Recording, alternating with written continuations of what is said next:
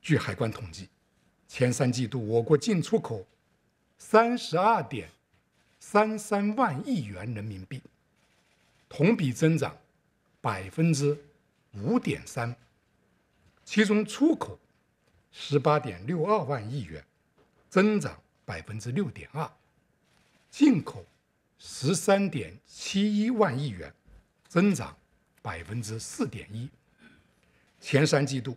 历史同期首次突破三十二万亿元，各季度分别进出口是十点一五、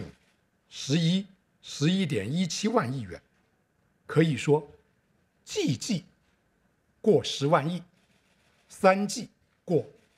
三十二万亿，这在历史同期是首次。